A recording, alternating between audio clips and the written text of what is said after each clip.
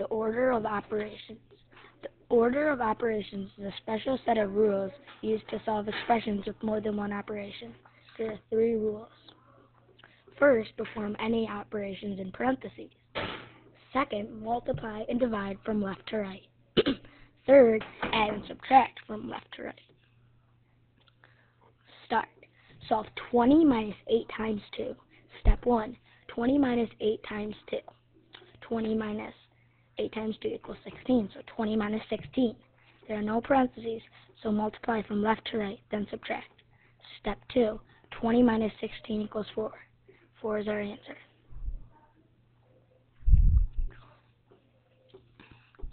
Use the order of operations to find the value of each expression.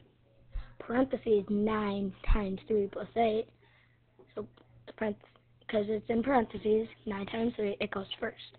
9 times 3 equals 27, plus 8 equals 35.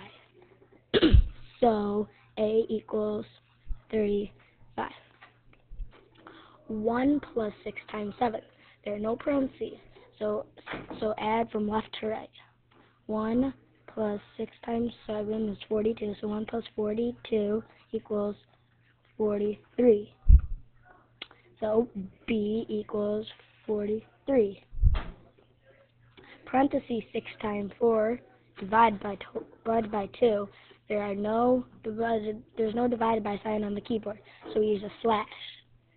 16 divided by 4 is divided by plus 4 equals 20 divided by 2 equals 10. So, C equals 10. 54 divided by 9 minus 3 54 divided by 9 minus 3 is 6 is 9 equals 9.